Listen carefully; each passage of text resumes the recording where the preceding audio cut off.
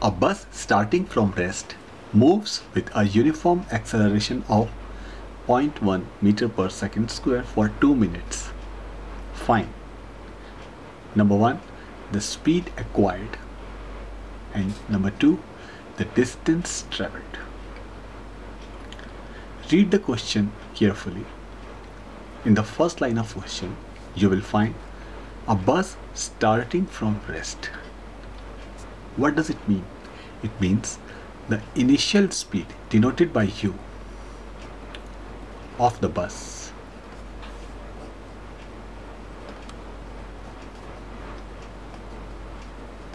Is 0 meter per second. And then you are given the acceleration is 0.1 meter per second square. So acceleration of the bus is 0.1 meter per second square and the time taken time taken by the bus is 2 minutes. We are working in MKS system in meter kilogram and second system.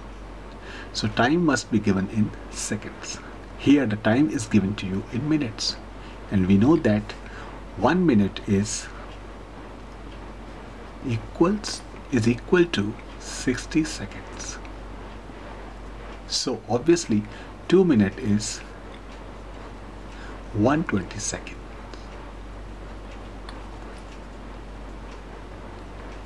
See you will have to find v the final velocity or final speed. Here we will use the word speed.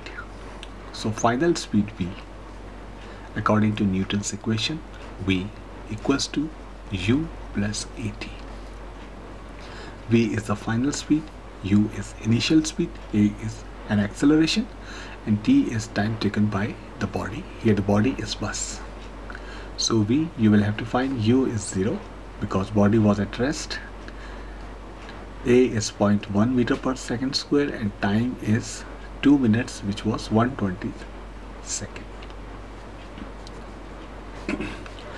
After calculating 0.1 is 1 by 10 120 is 12 meter per second. So you can see the speed acquired by the bus is 12 meter per second after 2 minutes. Now it was for part A. Now for part B, we will find the distance traveled. We can use two formulae S equals to ut plus half a t square or v square minus u square equals to 2as. Let us consider this formula as the distance traveled. Here u is 0 so whatever is the value of time doesn't matter. It will be 0 this term will be 0 half. Acceleration is 0.1 and time is 120 seconds. So 120 square.